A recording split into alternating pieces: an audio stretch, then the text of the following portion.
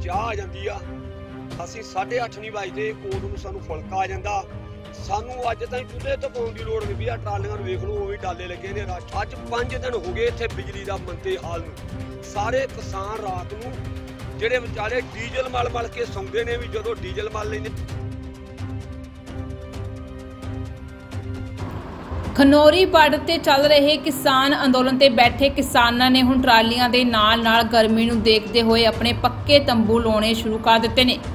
ਇਸ ਸੰਬੰਧੀ ਗੱਲਬਾਤ ਕਰਦਿਆਂ ਭਾਰਤੀ ਕਿਸਾਨ ਯੂਨੀਅਨ ਖੋਸਾ ਦੇ ਕੌਮੀ ਪ੍ਰਧਾਨ ਸੁਖਜਿੰਦਰ ਸਿੰਘ ਖੋਸਾ ਨੇ ਦੱਸਿਆ ਕਿ ਖਨੌਰੀ ਬਾਰਡਰ ਤੇ ਚੱਲ ਰਹੇ ਕਿਸਾਨ ਅੰਦੋਲਨ 2 ਤੇ ਬੈਠੇ ਕਿਸਾਨਾਂ ਨੂੰ ਆਪਣੇ ਹਾੜੀ ਦੇ ਸੀਜ਼ਨ ਵਿੱਚ ਕੰਮ ਕਰਨ ਲਈ ਘਰ ਨਹੀਂ ਜਾਣਾ ਪਵੇਗਾ।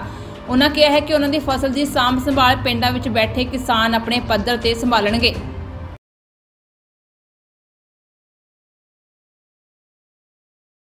ਤੁਹਾਡਾ ਬਹੁਤ ਬਹੁਤ ਧੰਨਵਾਦ, ਜਿੰਨੇ ਵੀ ਸਰੋਤੇ ਆ ਸਾਰਿਆਂ ਨੂੰ ਵਾਹਿਗੁਰੂ ਜੀ ਕਾ ਖਾਲਸਾ, ਵਾਹਿਗੁਰੂ ਜੀ ਕੀ ਫਤਿਹ।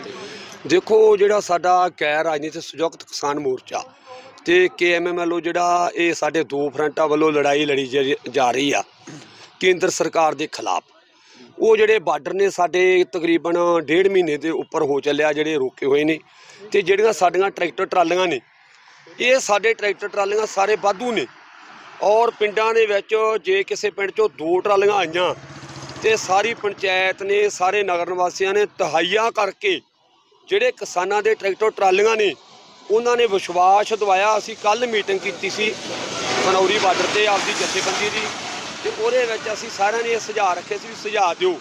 ਉਹਨਾਂ ਸਾਰਿਆਂ ਨੇ ਇਹ ਫੈਸਲਾ ਕੀਤਾ ਵੀ ਜਿਹੜੇ ਟਰੈਕਟਰ ਟਰਾਲੀਆਂ ਸ- ਇੱਕ ਨਗਰ ਦੇ ਖੜੇ ਨੇ, ਉਹਨਾਂ ਦੀ ਜਿਹੜੀ ਫਸਲ ਅਸੀਂ ਸੰਭਾਂਗੇ ਤੇ ਅਸੀਂ ਉਹਨਾਂ ਦੇ ਦਾਣੇ ਕਢਾਵਾਂਗੇ। ਇਹ ਜਿਹੜੇ ਟਰੈਕਟਰ ਟਰਾਲੀਆਂ ਜਿਉਂ ਕਿ ਤਿਉਂ ਖੜੇ ਰਹਿਣਗੇ। ਜਿੱਥੇ ਟਰੈਕਟਰ ਟਰਾਲੀਆਂ ਖੜੀਆਂ ਰਹਿਣਗੀਆਂ, ਉਹਨਾਂ ਦੇ ਨਾਲ ਅਸੀਂ ਠੰਡੇ ਤੰਬੂ ਵੀ ਬਣਾ ਰਹੇ ਹਾਂ। ਕਿਉਂਕਿ ਕਿਸਾਨਾਂ ਨੂੰ ਇੰਨੀ ਤਾਪਛ ਦੇ ਵਿੱਚ, ਗਰਮੀ ਦੇ ਵਿੱਚ ਉਹ ਟਰਾਲੀਆਂ 'ਚ ਬਹਿਣਾ ਬੜਾ ਔਖਾ, ਕਿਉਂਕਿ ਟਰਾਲੀਆਂ ਜਿਹੜਾ ਲੋਹਾ ਗਰਮ ਹੋ ਜਾਂਦਾ, ਉਹ 'ਚ ਰਾਤ ਨੂੰ ਵੀ ਪੈਣਾ ਔਖਾ। ਉਹਨੂੰ ਵੇਖਦਿਆਂ ਹੋਇਆਂ ਜਾਲੀ ਲਾ ਕੇ ਅਸੀਂ ਇਹ ਵਧੀਆ ਢਾਰੇ ਬਣਾ ਰਹੇ ਹਾਂ, ਤੁਹਾਡੇ ਸਾਹਮਣੇ ਆਈ ਇਹ ਸਾਰੇ ਅਸੀਂ ਢਾਰੇ ਜਾਣੀ ਕਿ ਮਤਲਬ ਵਾਢੀ ਹੋਣ ਤੋਂ ਪਹਿਲਾਂ ਅਸੀਂ ਇਹ ਆਪਦੇ ਮਨ ਦੇ ਵਿੱਚ ਸੰਘਰਸ਼ ਬਹੁਤ ਵੱਡਾ ਲੈ ਕੇ ਚੱਲੇ ਆ ਚਾਹੇ ਚੋਣ ਜਾਬਤਾ ਲੱਗ ਜੇ ਚਾਹੇ ਕੁਛ ਹੋ ਜੇ ਚਾਹੇ ਨਵੀਂ ਸਰਕਾਰ ਵੀ ਆ ਜੇ ਅਸੀਂ ਜਿਹੜਾ ਸੰਘਰਸ਼ ਦਾ ਮੈਦਾਨ ਖਾਲੀ ਨਹੀਂ ਛੱਡਣਾ ਜਿੰਨੀ ਦੇਰ ਤੱਕ ਜਿਹੜੀਆਂ ਲਾਗੂ ਕੀਤੀਆਂ ਹੋਈਆਂ ਮੰਗਾਂ ਸਰਕਾਰ ਮੰਨ ਨਹੀਂ ਲੈਂਦੀ ਤੇ ਨਾ ਹੀ ਸਾਨੂੰ ਕੋਈ ਚਾਹਣਾ ਵੀ ਕਾਂਗਰਸ ਸਰਕਾਰ ਬਣ ਜੇ ਜਾਂ ਫਲਾਨੀ ਬਣ ਜੇ ਜਾਂ ਢਿਉਂਕੀ ਬਣ ਜੇ ਸਾਡੇ ਨਾਲ ਕੋਈ ਤਾਲੁਕਾਤ ਨਹੀਂ। ਸਾਡਾ ਕੇਵਲ ਤੇ ਕੇਵਲ ਇੱਕੋ ਨਿਸ਼ਾਨਾ ਕਿਸਾਨੀ ਤੇ ਪਹਿਰਾ ਦੇਣਾ। ਔਰ ਕਿਸਾਨੀ ਦੀਆਂ ਜਿਹੜੀਆਂ ਮੰਨੀਆਂ ਹੋਈਆਂ ਮੰਗਾਂ ਨੂੰ ਲਾਗੂ ਕਰਾਉਣਾ। ਪਰ ਜੇ ਮੈਂ ਸਰਕਾਰਾਂ ਦੀ ਗੱਲ ਕਰਾਂ, ਇਹ ਸਰਕਾਰ ਜਿਹੜੀ ਮਤਲਬ ਆ, ਇਹਨੇ ਜਿਹੜਾ ਕਿਸਾਨਾਂ ਨੂੰ ਫਤਵਾ ਦਿੱਤਾ, ਅਸੀਂ 2013 ਦੇ ਵਿੱਚ ਇਹਨਾਂ ਨੇ ਚੋਣ ਮੈਨੀਫੈਸਟੋ ਦੇ ਵਿੱਚ ਵਾਅਦਾ ਕੀਤਾ ਸੀ, ਰਾਜਨਾਥ ਸਿੰਘ ਨੇ। ਦਿੱਲੀ ਸਾਡੀ ਸਟੇਜ ਸੀ 20 ਮਾਰਚ 2013 ਨੂੰ। ਤੇ ਰਾਜਨਾਥ ਸਾਹਿਬ ਨੇ ਵਾਅਦਾ ਕੀਤਾ ਸੀ ਵੀ ਸਾਡੀ ਸਰਕਾਰ ਲਿਆਓ। ਸੁਵਾਮੀ ਨਾਥਨ ਦੀ ਰਿਪੋਰਟ ਲਾਗੂ ਕੀਤੀ ਜਾਊਗੀ। ਇੱਥੇ ਹੀ ਬਸ ਨਹੀਂ, ਕਿਸਾਨਾਂ ਦੇ ਮਜ਼ਦੂਰਾਂ ਦੇ ਕਰਜ਼ਿਆਂ ਤੇ ਲਖੀਰ ਫੇਰੀ ਦਿੱਤੀ ਜਾਊਗੀ। ਇਸ ਨੂੰ ਰੱਖਦਿਆਂ ਅਸੀਂ ਜਿਹੜਾ ਉਹ ਧਰਨਾ ਸੀਗਾ, ਉਹ ਸਸਪੈਂਡ ਕਰਤਾ ਸੀ 20 ਮਾਰਚ ਨੂੰ। ਤੇ ਅਸੀਂ ਉਹਨੂੰ ਫਤਵਾ ਦੇ ਕੇ ਸਰਕਾਰ ਨੂੰ ਕੁਰਸੀ ਤੇ ਬਿਠਾਤਾ। ਤੇ ਇਹ ਸਰਕਾਰ ਇੰਨੀ ਨਲਾਇਕ ਨਿਕਲੀ, ਕਿਸਾਨਾਂ ਦੇ ਖੂਨ ਦੀ ਪਿਆਸੀ ਨਿਕਲੀ, ਜਿਨ੍ਹਾਂ ਨੇ ਤਿੰਨ ਕਾਲੇ ਕਾਨੂੰਨ ਬਣਾ ਕੇ ਜਿੱਥੇ ਸਾਨੂੰ ਸਵਾ ਸਾਲ ਪ੍ਰਦਰਸ਼ਨ ਕਰਨਾ ਪਿਆ ਬਾਰਡਰਾਂ ਤੇ ਤੇ ਉੱਥੇ ਜਦੋਂ 750 ਕਿਸਾਨ ਬੀਬੀਆਂ ਸ਼ਹੀਦ ਹੋਈਆਂ, ਤੇ ਜਦੋਂ ਲਖੀਮਪੁਰ ਖੀਰੀ ਵਿਖੇ ਸ਼ਾਂਤਮਈ ਪ੍ਰੋਟੈਸਟ ਕਰ ਰਹੇ ਕਿਸਾਨ, ਜਿਨ੍ਹਾਂ ਤੇ ਅਜੇ ਮਿਸ਼ਰਾ ਟੈਣੀ ਤੇ ਉਹਦੇ ਮੁੰਡੇ ਨੇ ਗੁੰਡਾਗਰਦੀ ਕਰਕੇ ਸੈਂਕੜੇ ਲੋਕਾਂ ਨੂੰ ਦਰੜਿਆ, ਜਿਹਦੇ ਵਿੱਚ ਚਾਰ ਕਿਸਾਨ ਸ਼ਹੀਦ ਹੋ ਗਏ ਤੇ ਇੱਕ ਜਿਹੜਾ ਪ੍ਰੈਸ ਵਾਲਾ ਵੀਰ ਵੀ ਸ਼ਹੀਦ ਹੋ ਗਿਆ। ਉਸ ਨੂੰ ਵੇਖਦਿਆਂ ਸਰਕਾਰ ਨੂੰ ਫਿਰ ਝੁਕਣਾ ਪੈ ਗਿਆ। ਫਿਰ ਸਰਕਾਰ ਨੂੰ ਸਾਹਿਬ ਸ੍ਰੀ ਗੁਰੂ ਨਾਨਕ ਦੇਵ ਜੀ ਦੇ ਜਨਮ ਵਾਲੇ ਦਿਨ ਉਹ ਕਾਨੂੰਨ ਰੱਦ ਕਰਨੇ ਪੈ ਗਏ। ਜਿਹੜੇ ਦੋ ਕਾਨੂੰਨ ਸੀਗੇ 2020 ਸੋਧ ਬਿੱਲ ਬਿਜਲੀ ਦਾ ਉਹ ਆਂਦੇ ਸੀ ਅਸੀਂ ਇਹ ਨਹੀਂ ਲਾਗੂ ਕਰਾਂਗੇ। ਪਰ ਉਹਨਾਂ ਨੇ ਇਹ ਵੀ ਲਾਗੂ ਕਰਤਾ ਸਾਡੇ ਚੈਪ ਵਾਲੇ ਮੀਟਰ ਲੱਗ ਰਹੇ ਨੇ। ਤੇ ਅਸੀਂ ਉਹਨਾਂ ਦਾ ਵੀ ਵਿਰੋਧ ਕਰਦੇ ਹਾਂ, ਚਿੱਪ ਵਾਲੇ ਮੀਟਰ ਅਸੀਂ ਲੱਗਣ ਨਹੀਂ ਦੇਣੇ। ਜਿੱਥੇ ਇਹਨਾਂ ਨੇ ਸਾਡੇ ਨਾਲ ਵਾਅਦਾ ਕੀਤਾ ਸੀ ਵੀ ਐਮਐਸਪੀ ਦਾ ਗਰੰਟੀ ਕਾਨੂੰਨ ਦੇਵਾਂਗੇ ਉਹ ਵੀ ਨਹੀਂ ਇਹਨਾਂ ਨੇ ਲਾਗੂ ਕੀਤਾ। ਜੇ ਮੈਂ ਗੱਲ ਕਰਾਂ ਇਹਨਾਂ ਨੇ ਕਿਹਾ ਸੀ C2 50% ਨਾਲ ਕਿਸਾਨਾਂ ਦੀ ਆਮਦ ਆਮਦਨ ਦੁੱਗਣੀ ਕਰਾਂਗੇ। ਉਹ ਵੀ ਨਹੀਂ ਲਾਗੂ ਕੀਤਾ। ਇਹਨਾਂ ਸਾਰੇ ਪੱਖਾਂ ਨੂੰ ਦੇਖਦੇ ਹੋਏ ਤੇ ਇਹ ਜਿਹੜੀ ਸਰਕਾਰ ਸੀ ਬਿਲਕੁਲ ਨਿਕੰਮੀ ਨਿਕਲੀ ਕਿਸਾਨਾਂ ਪ੍ਰਤੀ। ਕਿਸਾਨ ਵੋਟਾਂ ਨੂੰ ਲੈ ਕੇ ਹੁਣ ਜਿਵੇਂ ਪੰਜਾਬ ਦੇ ਸਾਰੀਆਂ ਪਾਰਟੀਆਂ ਦੇ ਲੀਡਰ ਘਰ ਘਰ ਜਾਣਗੇ ਵੋਟਾਂ ਦੀ ਉਹਨਾਂ ਨੂੰ ਕਿਸਾਨ ਜਥੇਬੰਦੀਆਂ ਕਿਵੇਂ ਦੇਖਣਗੀਆਂ? ਦੇਖੋ ਜੀ ਕੱਲ ਮੁਕਸਰ ਜ਼ਿਲ੍ਹੇ ਦੇ ਵਿੱਚ ਭਾਜਪਾ ਦੀ ਇੱਕ ਮਤਲਬ ਉੱਥੇ ਪੈਰਿਸ ਦੇ ਵਿੱਚ ਉਹਨਾਂ ਦੀ ਮੀਟਿੰਗ ਸੀ। ਤੁਸੀਂ ਦੇਖ ਹੀ ਲਿਆ ਨਾ ਮੀਡੀਆ ਦੇ ਵਿੱਚ ਵੀ ਉਹ ਸਾਡੀਆਂ ਪਾਰਟੀਆਂ ਨੇ ਜਾ ਕੇ ਔਰ ਲੋਕਾਂ ਦਾ ਆਮ ਹਵਾਮ ਰਲ ਗਿਆ, ਨਾਲ ਬੀਬੀਆਂ ਵੀ ਗਈਆਂ ਬਹੁਤ, ਵੀ ਇਹ ਸਰਕਾਰ ਨੇ ਸਿੱਧੀਆਂ ਗੋਲੀਆਂ ਮਰਾ ਕੇ ਸਾਡੇ ਕਿਸਾਨਾਂ ਨੂੰ ਸ਼ਹੀਦ ਕੀਤਾ, ਸਾਡੇ ਨੌਜਵਾਨਾਂ ਨੂੰ ਸ਼ਹੀਦ ਕੀਤਾ, ਜਿਵੇਂ ਕਿ ਸ਼ੁਭਕਰਨ ਸਿੰਘ, ਜਿਵੇਂ ਕਿ ਤੁਸੀਂ 21 ਫਰਵਰੀ ਨੂੰ ਕੋਲੇ ਸੀ, ਵਿੱਚ ਸੀ ਸਾਡੇ ਨਾਲ, ਤੁਹਾਡੇ ਵੀ ਗੋਲੀ ਵੱਜ ਸਕਦੀ ਸੀ। ਸ਼ਾਂਤਮਈ ਪ੍ਰੋਟੈਸਟ ਕਰ ਰਹੇ ਕਿਸਾਨ ਆਪਦੀਆਂ ਹੱਕੀ ਮੰਗਾਂ ਮੰਨ ਰਹੇ ਸੀ, ਨਾ ਕਿ ਉਹ ਕੋਈ ਜ਼ਿਆਦਾ ਕੋਈ ਗਲਤ ਕੰਮ ਕਰ ਰਹੇ ਸੀ, ਨਾ ਕੋਈ ਤੋੜ ਹੀ ਰਹੇ ਸੀ, ਉਹਨਾਂ ਨੇ ਅਥਰੂ ਗੈਸ, ਵਾਟਰ ਬੰਬ ਤੇ ਸਿੱਧੀਆਂ ਗੋਲੀਆਂ ਜਿਹੜੀਆਂ ਮਾਰ ਕੇ ਜਿੱਥੇ ਕਿਸਾਨਾਂ ਦੀਆਂ ਅੱਖਾਂ ਵੀ ਚਲੀਆਂ ਗਈਆਂ, ਕਿਸਾਨ ਫੱਟੜ ਵੀ ਹੋਇਆ ਤੇ ਇੱਕ ਜਿਹੜਾ ਪ੍ਰਿਤਪਾਲ ਸਿੰਘ ਸੰਗਰੂਰ ਜ਼ਿਲ੍ਹਾ, ਪਿੰਡ ਨਵਾਂ ਗਾਉ ਦਾ, ਨੌਜਵਾਨ ਸੀ 32 ਸਾਲ ਦਾ। ਵਿਆਹਿਆ ਹੋਇਆ, ਉਹਦੇ ਦੋ ਬੱਚੇ ਵੀ ਨੇ ਨਿੱਕੇ ਨਿੱਕੇ।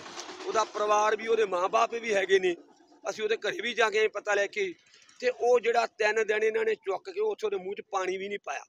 ਪਰ ਉਸ ਨੂੰ ਰੱਖ ਗਿਆ ਰੱਬ। ਇਹਨਾਂ ਨੇ ਮਾਰਨ ਦੀ ਕੋਸ਼ਿਸ਼ ਨਹੀਂ ਛੱਡੀ ਗਈ ਤੇ ਉਸ ਬੰਦੇ ਨੂੰ ਅਸੀਂ ਫਿਰ ਮਤਲਬ ਹਾਈ ਕੋਰਟ ਤੋਂ ਸਹਾਰਾ ਲੈ ਕੇ ਪੀਜੀਆਈ ਚੰਡੀਗੜ੍ਹ ਤੋਂ ਇਲਾਜ ਕਰਾ ਕੇ ਹੁਣ ਉਹ ਘਰੇ ਵਾਪਸ ਪਰਤਿਆ, ਪਰ ਉਹਦਾ ਹਲੇ ਸਾਲ, ਡੇਢ ਸਾਲ ਇਲਾਜ ਚੱਲੂਗਾ। ਕਿਉਂਕਿ ਉਹਨੂੰ ਇੰਨਾ ਬੁਰੀ ਤਰ੍ਹਾਂ ਕੁੱਟਿਆ ਵੀ ਜਿਵੇਂ ਕਿ ਇੱਕ ਆਪਾਂ ਪਸ਼ੂਆਂ ਨੂੰ ਕੁੱਟਦੇ ਹੁੰਨੇ ਮੈਂ ਸਮਝਦਾ ਇਹ ਸਰਕਾਰ ਜਿੱਥੇ ਕਿਸਾਨਾਂ ਦੀ ਵਿਰੋਧੀ ਆ, ਉੱਥੇ ਮਨੁੱਖਤਾ ਦੀ ਵੀ ਵਿਰੋਧੀ ਸਰਕਾਰ ਆ ਇਹ।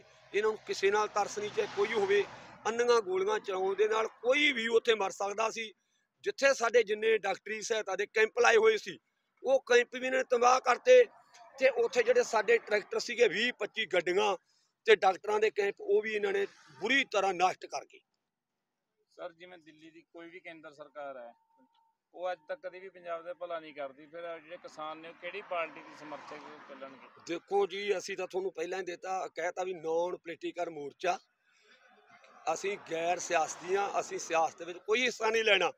ਸਾਡਾ ਕੇਵਲ ਤੇ ਕੇਵਲ ਇੱਕੋ ਮੰਤਵ ਆ ਕਿਸਾਨੀ ਦੀ ਲੜਾਈ ਅਸੀਂ ਆਪਦੇ ਮੋਢਿਆਂ ਤੇ ਲੜਨੀ ਹੈ ਔਰ ਆਪਦੇ ਹੱਕ ਲੈਣੇ ਨੇ ਔਰ ਸਾਡਾ ਕਿਸੇ ਪਾਰਟੀ ਨਾਲ ਤਾਲਮੇਲ ਨਹੀਂ ਚਾਹੇ ਕਾਂਗਰਸ ਵੀ ਆ ਜੇ ਅਸੀਂ ਤਾਂ ਆਈ ਲੜਾਈ ਲੜਨੀ ਆ ਤੇ ਆਪਦੀਆਂ ਮੰਗਾਂ ਮਨਵਾਉਣੀਆਂ ਸਾਨੂੰ ਕੋਈ ਨਹੀਂ ਵੀ ਭਾਜਪਾ ਕੇ ਕਾਂਗਰਸ ਆ। ਸਰ ਜਿਵੇਂ ਉਹ ਵੀ ਇਹਨਾਂ ਨੇ ਬੁਰੀ ਤਰ੍ਹਾਂ ਨਸ਼ਟ ਕਰ ਗਏ ਸਰ ਜਿਵੇਂ ਦਿੱਲੀ ਦੀ ਕੋਈ ਵੀ ਕੇਂਦਰ ਸਰਕਾਰ ਹੈ ਉਹ ਅੱਜ ਤੱਕ ਕਦੇ ਵੀ ਪੰਜਾਬ ਦਾ ਭਲਾ ਨਹੀਂ ਕਰਦੀ। ਫਿਰ ਜਿਹੜੇ ਕਿਸਾਨ ਨੇ ਉਹ ਕਿਹੜੀ ਪਾਰਟੀ ਦੀ ਸਮਰਥਕ ਚੱਲਣਗੇ? ਦੇਖੋ ਜੀ, ਅਸੀਂ ਤਾਂ ਤੁਹਾਨੂੰ ਪਹਿਲਾਂ ਹੀ ਦਿੱਤਾ ਕਹਿਤਾ ਵੀ ਨੌਨ ਪੋਲੀਟੀਕਲ ਮੋਰਚਾ। ਅਸੀਂ ਗੈਰ ਸਿਆਸਤੀਆਂ ਅਸੀਂ ਸਿਆਸਤ ਵਿੱਚ ਕੋਈ ਹਿੱਸਾ ਨਹੀਂ ਲੈਣਾ। ਸਾਡਾ ਕੇਵਲ ਤੇ ਕੇਵਲ ਇੱਕੋ ਮੰਤਵ ਆ, ਕਿਸਾਨੀ ਦੀ ਲੜਾਈ। ਅਸੀਂ ਆਪਦੇ ਮੋਢਿਆਂ ਤੇ ਲੜਨੀ ਹੈ ਔਰ ਆਪਦੇ ਹੱਕ ਲੈਣੇ ਨੇ। ਔਰ ਸਾਡਾ ਕਿਸੇ ਪਾਰਟੀ ਨਾਲ ਤਾਲਮੇਲ ਨਹੀਂ, ਚਾਹੇ ਕਾਂਗਰਸ ਵੀ ਆ ਜੇ। ਅਸੀਂ ਤਾਂ ਆਈ ਲੜਾਈ ਲੜਨੀ ਆ ਤੇ ਆਪਦੀਆਂ ਮੰਗਾਂ ਮਨਵਾਉਣੀਆਂ। ਸਾਨੂੰ ਕੋਈ ਨਹੀਂ ਵੀ ਭਾਜਪਾ ਕੇ ਕਾਂਗਰਸ ਆ। ਸਰ ਜਿਵੇਂ ਦੂਰ ਦੂਰ ਤੋਂ ਸਾਰੀਆਂ ਜਥੇਬੰਦੀਆਂ ਆਈਆਂ ਨੇ ਜਿਹੜਾ ਖਨੌਰੀ ਇਲਾਕੇ ਦੇ ਸੰਗਤਾਂ ਨੇ ਲੋਕਲ ਉਹਨਾਂ ਦਾ ਜਿਹੜਾ ਰੁਝਾਨ ਆ ਕਿਸਾਨਾਂ ਦਾ ਅੰਦੋਲਨ ਨੂੰ ਕਿਵੇਂ ਦੇਖ ਰਹੇ ਹੋ? ਦੇਖੋ ਜੀ ਇੰਨਾ ਵਧੀਆ ਰੁਝਾਨ ਆ ਲੋਕਾਂ ਦਾ। ਅਸੀਂ ਸੁੱਤੇ ਪਏ ਹੁੰਨੇ ਆ ਚਾਹ ਆ ਜਾਂਦੀ ਆ। ਅਸੀਂ 8:30 ਨਹੀਂ ਵੱਜਦੇ ਉਦੋਂ ਨੂੰ ਸਾਨੂੰ ਫੁਲਕਾ ਆ ਜਾਂਦਾ। ਸਾਨੂੰ ਅੱਜ ਤਾਈਂ ਚੁੱਲ੍ਹੇ ਤੋਂ ਪਾਉਣ ਦੀ ਲੋੜ ਨਹੀਂ ਪਈ ਆ। ਟਰਾਲੀਆਂ ਨੂੰ ਵੇਖ ਲਓ ਉਵੇਂ ਡਾਲੇ ਲੱਗੇ ਨੇ। ਰਾਸ਼ਨ ਉਵੇਂ ਅਸੀਂ ਗੁਰਦੁਆਰਾ ਸਾਹਿਬ ਲਈ ਉਹ ਡਿਵਾਈਡ ਕਰਕੇ ਲੰਗਰਾਂ ਨੂੰ ਸਾਰਾ ਵੰਡ ਦਿੱਤਾ ਔਰ ਸਾਡੇ ਕੋਲੇ ਹਾਲੇ ਲੰਗਰ ਆ ਜਿਹੜਾ, ਹਾਲੇ ਵੀ 6-6 ਮਹੀਨੇ ਦਾ ਵਿੱਚ ਪਿਆਜ਼ ਗੈਸ ਸਿਲੰਡਰ ਪਏ ਨੇ। ਔਰ ਇਸ ਕਰਕੇ ਅਸੀਂ ਇਸ ਇਲਾਕੇ ਦਾ ਧੰਨਵਾਦ ਕਰਦੇ ਹਾਂ ਸਾਰੇ ਦਾ ਵੀ ਜਿੰਨੀ ਇਹਨਾਂ ਨੇ ਕਿਸਾਨਾਂ ਦੀ ਸੇਵਾ ਕੀਤੀ ਆ, ਮੈਂ ਸਮਝਦਾ ਵੀ ਬਹੁਤ ਵੱਡੀ ਇਸ ਇਲਾਕੇ ਦੀ ਦੇਣ ਆ ਨੇੜੇ ਵਾਲਿਆਂ ਦੀ। ਔਰ ਸਾਨੂੰ ਕਿਸੇ ਵੀ ਚੀਜ਼ ਦੀ ਥੋੜ ਨਹੀਂ ਆਉਣ ਦਿੰਦੇ, ਚਾਹੇ ਮੱਛਰਦਾਨੀਆਂ ਹੋਣ, ਚਾਹੇ ਔਡਮੋਸਾਂ ਹੋਣ, ਪਰ ਇੱਕ ਅਸੀਂ ਜ਼ਰੂਰ ਸਰਕਾਰ ਕਾਂ- ਪੰਜਾਬ ਸਰਕਾਰ ਨੂੰ ਨਿੰਦੇ ਆ ਅੱਜ 5 ਦਿਨ ਹੋ ਗਏ ਇੱਥੇ ਬਿਜਲੀ ਦਾ ਮੰਦੇ ਹਾਲ ਨੂੰ। ਸਾਰੇ ਕਿਸਾਨ ਰਾਤ ਨੂੰ ਜਿਹੜੇ ਵਿਚਾਰੇ ਡੀਜ਼ਲ ਮਲ ਮਲ ਕੇ ਸੌਂਦੇ ਨੇ ਵੀ ਜਦੋਂ ਡੀਜ਼ਲ ਮਲ ਲੈਨੇ ਸਰੀਰ ਤੇ ਤੇ ਉਹਦੇ ਨਾਲ ਮੱਛਰ ਨਹੀਂ ਨੇੜੇ ਆਉਂਦਾ। ਤੇ ਸਾਰੀਆਂ ਰਾਤਾਂ ਸਾਨੂੰ ਬਹਿ ਕੇ ਕੱਟਣੀਆਂ ਪੈਂਦੀਆਂ। ਮੈਂ ਨਾ ਇਦੋਂ ਘਟੀਆ ਜਿਹੜੀ ਪੰਜਾਬ ਨਾਲ ਦੀ ਸਰਕਾਰ ਵੀ ਘਟੀਆ ਨਹੀਂ ਹੋ ਸਕਦੀ, ਜਿਨ੍ਹਾਂ ਦਾ ਕਿਸਾਨਾਂ ਪ੍ਰਤੀ ਕੋਈ ਅਸੀਂ ਜਾਮ ਕਰਕੇ ਦੱਸਿਆ ਵੀ ਇੱਥੇ ਐਕਸ਼ਨ ਵੀ ਆਏ, ਤਹਿਸੀਲਦਾਰ ਵੀ ਆਏ, ਪ੍ਰਸ਼ਾਸਨ ਕੋਲੇ ਵੀ ਗੱਲ ਗਈ ਆ, ਅੱਜ ਵੀ ਗਈ ਉਹਨਾਂ ਦੇ ਵੱਡੇ ਅਹੁਦੇਦਾਰਾਂ ਕੋਲੇ ਗੱਲ ਇਹ, ਵੀ ਸਾਡੇ ਇਹ ਟਰਾਂਸਫਾਰਮ ਵੱਡੇ ਲਾਓ। ਵੱਡੇ ਟਰਾਂਸਫਾਰਮ ਲਾ ਕੇ ਸਾਨੂੰ ਜਿਹੜਾ ਬਿਜਲੀ ਦਾ ਪ੍ਰਬੰਧ ਪੂਰਾ ਹੋ ਜੇ ਤੇ ਸਾਡਾ ਜਿਹੜਾ ਮਤਲਬ ਸੰਘਰਸ਼ ਆ, ਉਹ ਹੋਰ ਤੇਜ਼ ਹੋਊਗਾ।